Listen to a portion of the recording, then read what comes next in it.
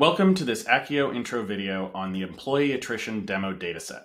This dataset is provided to all Akkio users, so feel free to take a look yourself. We're just going to do a quick walkthrough of it and show you a couple of interesting features to get you started. Uh, there is also a flow on the site itself that allows you to step through the various parts of this uh, demo workflow uh, using our onboarding program. So feel free to look at that. It is embedded in a tooltip for your first couple of times you log in. Without further ado, let's take a look. So right now we are on the table view. We can see we have a bunch of different information that might be valuable. Last evaluation score, average monthly hours, satisfaction score, salary range. And this is a one to two classification, or sorry, one to zero classification. So we're looking at attrition, whether it happened or whether it didn't. This is a heavily weighted data set, as you might expect. You're not expecting 50% attrition in most cases.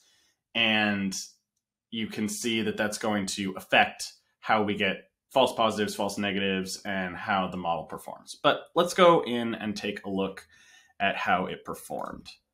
So right now we can go in, we're gonna predict off of this. I just copied this flow, so it's gonna want me to predict again, but we have it nicely cached, so it should be nice and fast. So here we are. You can see we have an accuracy of about 90%. Looking at top fields, this seems to play out pretty interestingly. So you can see training hours are the most effective determiner of how people are going to stay. So if they're properly trained, that can uh, affect the staying value. You can see up 8%. That makes sense.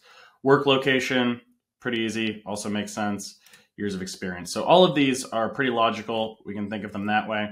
Top factors, nice thing to break into because it's different in that it's talking about specific ranges within fields, not the fields themselves.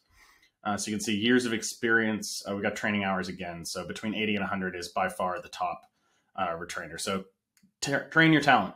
Speaking as an enablement professional, highly recommend. All right, and then we're going to go into the web app and we can see that we're going to do once again our flow step and we can pull this out and do some predictions if we want. So I'm actually just going to deploy this really quick and we're going to go to the live app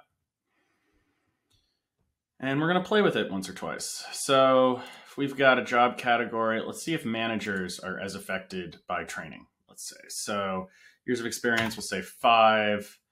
Uh, we're going to say that they work in the office, and then the training numbers are going to be, we'll say 60, so a little bit under that really nice value.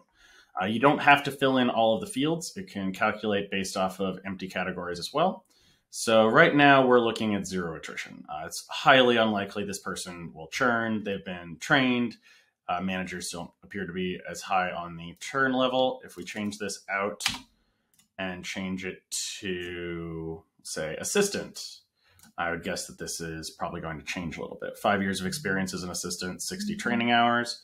So actually, probability of attrition is still very low, very heavily dependent on those training hours. So feel free to play around with these. Uh, you can upload CSVs into them and you can look at other deployments as well.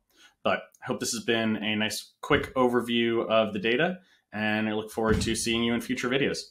Cheers.